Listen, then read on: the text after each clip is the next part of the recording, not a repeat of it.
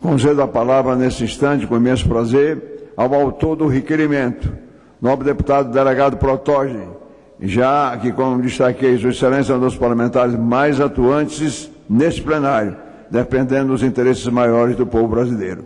Uma palavra ao delegado Protoge, autor do requerimento de que se originou a realização da presente sessão solene.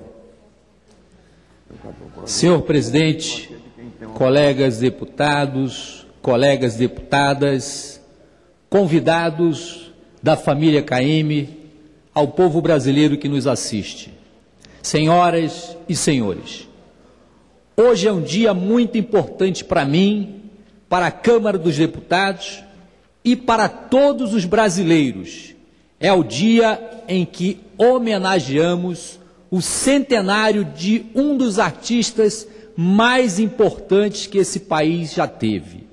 A importância dele está, primeiro, no seu caráter, na sua integridade, na sua brasilidade, na transformação de tudo que ele captou com os olhos, com os ouvidos, o nariz, todas as cores, as formas, os ruídos, os cheiros em arte genuinamente nacional de qualidade universal.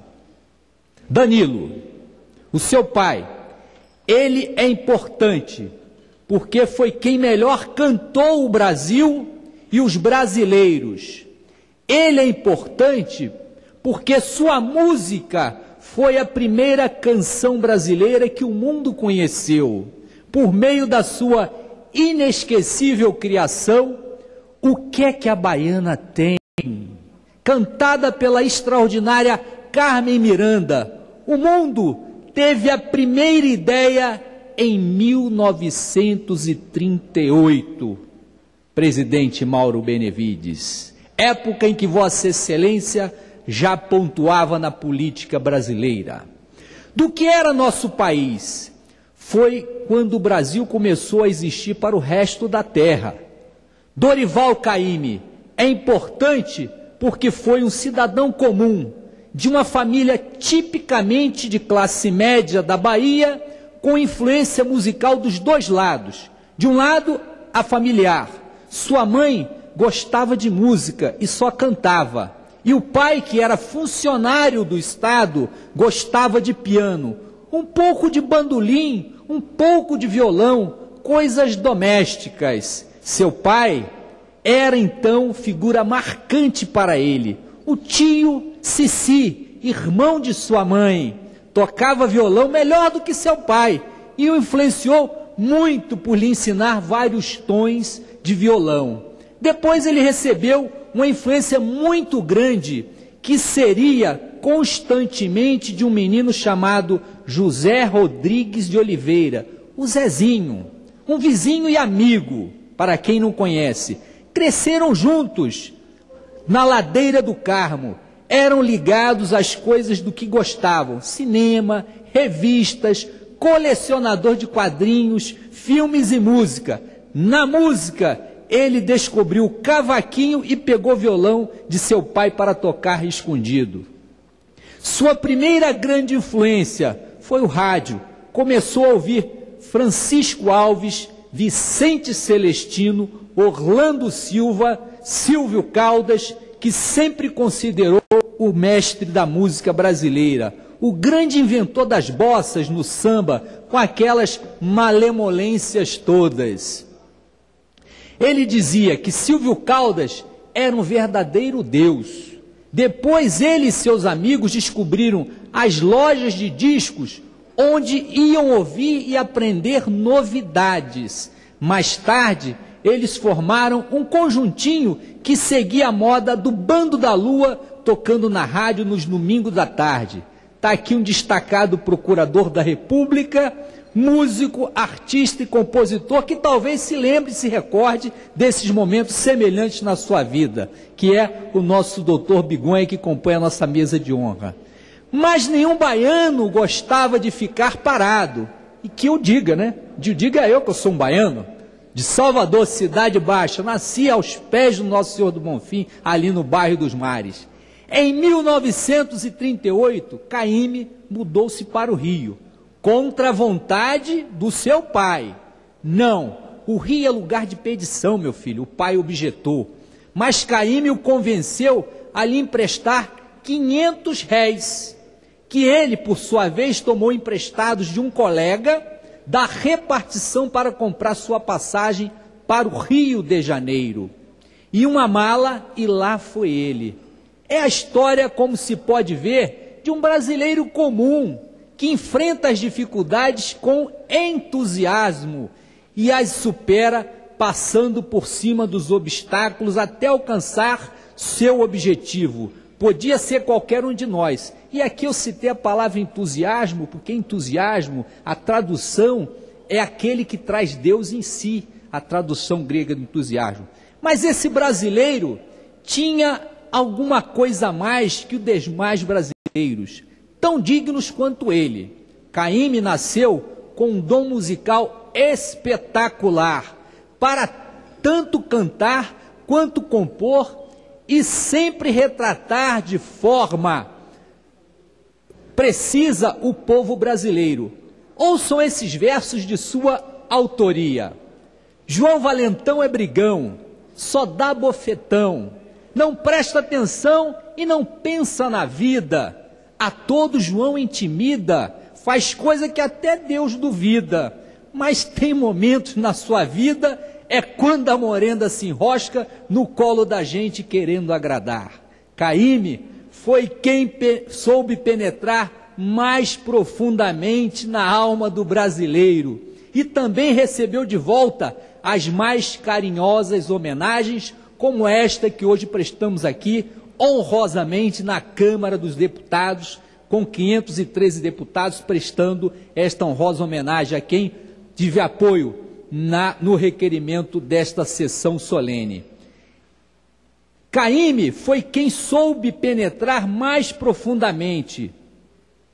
Quais pais batizaram suas filhas de Marina, inspirados na canção de Caíme?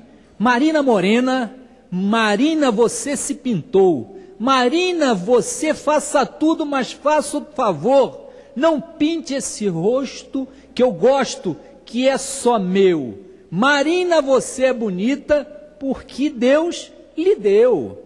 Quem consegue ficar parado quando alguém começa a cantar o samba da minha terra deixa a gente mole? Quando se dança, todo mundo bole. Quem não gosta de samba, bom sujeito não é. É ruim da cabeça ou doente do pé. Eu nasci com samba e com samba me criei. E com danado do samba eu nunca me separei. Em suas letras econômicas, mas carregadas de lirismo e de sabedoria, ele descreveu o brasileiro e a brasileira como um sociólogo jamais conseguiria, é de fazer inveja até Fernando Henrique Cardoso, que não conseguiria traduzir o que Dorival Caymmi traduziu na sua história bonita de vida. Eu vou para Maracangalha? Eu vou. Eu vou com chapéu de palha? Eu vou. Eu vou convidar a Nália? Eu vou. Se a Nália não quiser ir, eu vou só. Eu vou só para Maracangalha, mas eu vou apesar de ser radicalmente brasileiro, etnicamente brasileiro, eu diria, e talvez por isso mesmo, suas músicas ganharam vers versões internacionais e encantaram a outros povos. O exemplo mais eloquente, talvez, seja a bela valsa que se repete inúmeras vezes. São rosas, rosas, rosas, rosas. Rosas formosas são rosas de ti, rosas de se seduzir. Rosas a me seduzir são as rosas, são as rosas, são as rosas de abril. E por que não falar também que são as rosas do mês de junho que nós estamos comemorando aqui o seu centenário? Nos anos de chumbo, muitas tertúlias dos militantes de esquerda, contestadores e combatentes do regime militar brasileiro, seja em liberdade, seja nas masmorras, na ditadura, era embalada por sua obra-prima, Suíte dos Pescadores. Lembra, deputado Stepanecesse, na sua juventude Partido Comunista Brasileiro, militante da esquerda, aquele jovem militante lá do Rio de Janeiro, apesar de ser goiano, era essa, essa época em que Dori Caymmi levava a mensagem de sua obra-prima. Minha jangada vai sair para o mar, vou trabalhar meu bem-querer. Se Deus quiser, se Deus quiser, quando eu voltar do mar, um peixe bom eu vou trazer. Meus companheiros também vão voltar e a Deus do céu vamos agradecer. A música nunca foi um acessório nem um trabalho em sua função mas a sua vida e seu dia a dia, o seu ganha-pão, a sua família. Casou-se com Estela Mares, uma cantora de inúmeros predicados, elogiada por Carmen Miranda e que lhe deu três filhos cantores e compositores do mesmo quilate do pai e legítimos herdeiros, Dori Caime, Nana Caime e Danilo Caime, que nos dá a honra de estar nesta sessão compondo a mesa de honra. Se alguém ainda tem dúvidas a respeito da sua genialidade, seu conterrâneo, nosso conterrâneo, se alguém ainda tinha dúvidas a respeito de sua genialidade, nosso conterrâneo Caetano Veloso a desfez certo dia ao dizer, esbanjando sinceridade, o estilo de Caetano. Eu escrevi 400 canções, e Dorival Caymmi 70. Mas ele tem 70 canções perfeitas e eu não. Sendo assim, não há mais o que dizer além do enorme, sincero e eloquente afinado muito obrigado Dorival Caymmi. Que Deus lhe abençoe e ilumine aonde ele estiver. Obrigado. Cumprimento o novo deputado Protoni pelo seu brilhante pronunciamento, é, enaltecendo a figura imperecível do grande Dorival Caymmi. Foram referências que tocaram fundo a nossa alma e refletem a extraordinária sensibilidade desse parlamentar que nesta casa, como já destaquei, tem tido uma marcante atuação em defesa do povo brasileiro. E na sessão de hoje, defendendo é, o caráter imperecível da memória de Dorival Caymmi, que essa memória que, que continuamos cultuando é, com a paz profunda de